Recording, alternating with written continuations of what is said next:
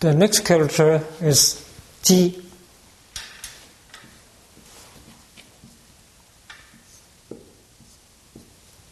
Which means to hit, to attack.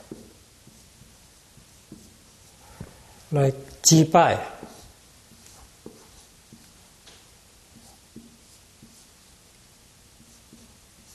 Is defeat.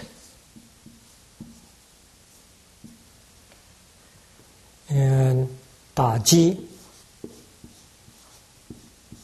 is to hit, to attack.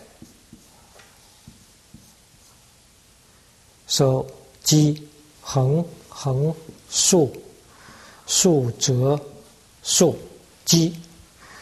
Traditional character